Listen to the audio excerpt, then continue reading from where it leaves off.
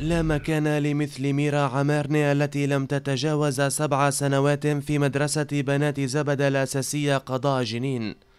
فهي تعاني من شلل نصفي وحدبة في الظهر. والمدرسة تفتقد لأدنى متطلبات الشروط الأساسية للطلاب العاديين. فكيف لذوي الإعاقة؟ فالمدرسة المتداعية معرضة للانهيار في أي لحظة.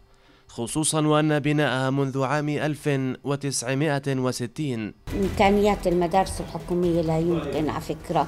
آه، يعني تمشي معهم آه، ميرا أو الإعاقات بشكل عام. بما إنه إحنا مش تخصصنا تربية خاصة لذوي الاحتياجات الخاصة فبيكون كتير صعب على المعلمه التعامل معها مع وجود طالبات برضه في الصف بدهم عناية أكثر موضوع ذوي الإعاقة والاهتمام بهم في المدارس الحكومية والخاصة والوكالة. كان حاضرا في التدريب المركزي لمشروع المواطنة 2013 وسينفذ هذا العام تحت شعار الأشخاص ذوي الإعاقة يقودون التغيير حيث عقد مركز إبداع المعلم بالتعاون مع وزارة التربية والتعليم تدريبا لتسعين معلما ومعلمة من أجل تطوير قدراتهم في التعامل مع هذه الفئات. في عنا مدارس زي مدرسة عرابة بنات عرابة الأساسية في جنين.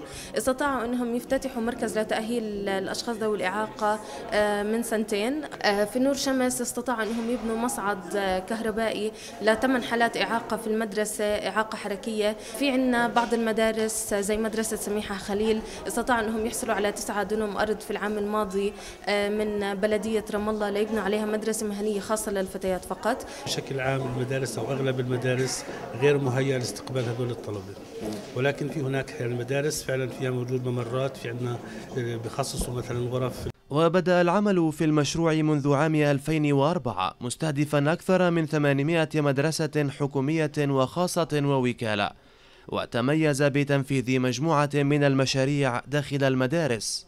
المشروع تناول فئة كتير مستثنية بحياتنا الاجتماعية اللي هي الفئات آه، المعاقين أو ذوي الإعاقة. آه، بالنسبة لنا هذا كثير مهم إنه ندمجهم بحياتنا حسب درجة الإعاقة طبعا الموجودة عندهم. نشوف المؤسسات نعمل توعية بالشوارع وبالطرق عن أهميتهم أو أهمية دمجهم. يذكر أن مشروع المواطنة لهذا العام سيستهدف 150 مدرسة في الضفة والقطاع لدعم قضايا ذوي الإعاقة ومحاولة حل مشكلاتهم بطرق جذرية. نزار حبش من مدينة رام الله تلفزيون وطن.